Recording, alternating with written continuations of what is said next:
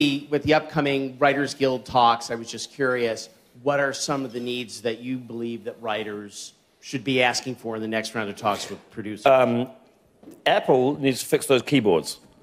Though they are impossible to write on, they've, got, they've gotten worse. That makes me, makes me want to go back to PCs.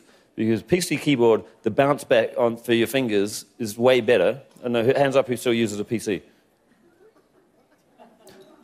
You know what I'm talking about. It's a way better keyboard. And those Apple keyboards are horrendous. And I've got very, about some shoulder problems.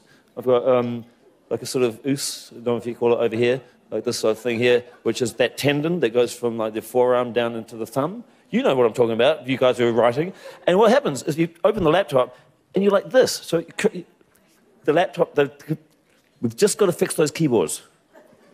WGA needs to step in and actually do something.